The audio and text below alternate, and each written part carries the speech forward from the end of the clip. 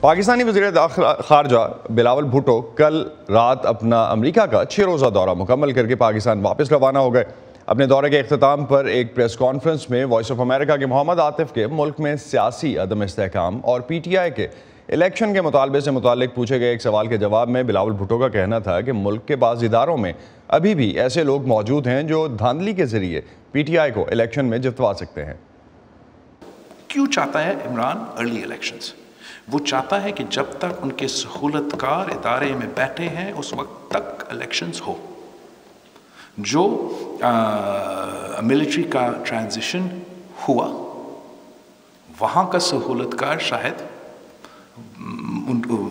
اب نہ ہو۔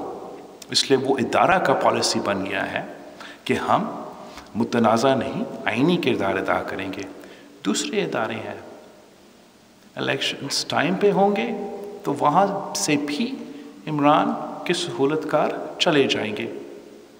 اگر الیکشنز ٹائم پہ نہیں ہوں گے، تو وہاں کچھ عمران کے سہولت کار رہیں گے، جس جس سے خان صاحب امید رکھ رہا ہے امید رکھ رہے ہیں کہ مجھے یہ لوگ جو اس ادارے میں بیٹھے ہیں اپنی کیسز میں بچائیں گے۔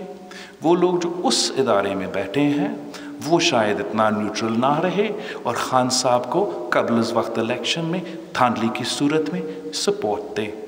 تو میرا موقف ہے کہ پارلیمان اپنا ٹرم مکمل کرے گا۔ بلاول نے یہ بھی کہا کہ پاکستان کو ٹی ٹی پی کے خلاف آپریشن میں افغان طالبان کی مدد چاہیے۔ جب عمران خان نے تحریک طالبان افغانستان سے بات چیت کرنے کے لیے مدد مانگی تو انہوں نے مدد دی۔